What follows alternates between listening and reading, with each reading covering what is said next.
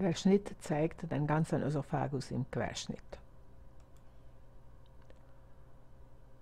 Die Schleimhaut hat drei Schichten, das Epithelium mucosae, die Lamina propria mucosae und die Lamina muscularis mucosae. Die Tunica submucosa, das ist ein sehr lockeres Bindegewebe mit vielen Gefäßen und gemischte Speicheldrüsen, überwiegend muköse Drüsen. Die Tunica muscularis mucosae hat zwei Subschichten, zirkuläre und longitudinäre Schicht. Zwischen den zwei Hauptschichten, wir sehen auch hier äh, den Plexus submucosus. Das Epithel der Schleimhaut ist ein mehrschichtiges unverhorntes Plattenepithel mit vielen Bindegewebspapillen. Wo ich zeige, dieser Anteil, das ist die richtige Dicke des Epithels, wo, wir, wo der Schnittebene perpendikulär zur Oberfläche äh, liegt. In diesem Bereich Schnittebene läuft schräg, deswegen wir sehen viele Querschnitte von den Bindegewebspapillen. Lamina propria mucosae und Lamina muscularis mucosae. In der Tunica submucosa liegen gemischte Speicheldrüsen, die überwiegend muköse Drüsen sind.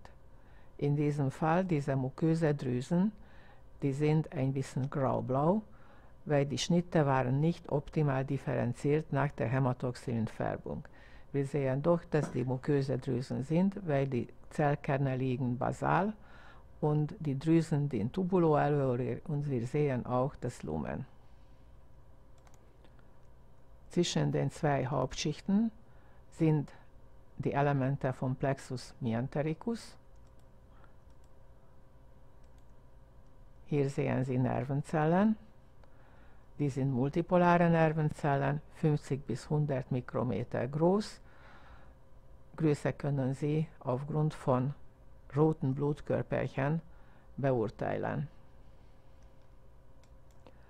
In manchen unserer Schnitten, wir sehen auch besondere Elemente, wie ein relativ großen, einen ner relativ großen Nervenquerschnitt, das kann der Nervus vagus sein, und ein Schnitt von einem kleinen Lymphknoten mit der, Bindegewebs mit der Bindegewebskapsel, Cortex und Medulla peripherer Nerv, Epineurium, Nervenfaserbündeln mit Perineurium umgeben. Innerhalb von Nervenfaserbündeln haben wir die Nervenfasern, die die Axone mit Scheide umgeben sind. Zwei kleine Arterien, eine Vene und eine noch kleinere Vene mündet gerade ein.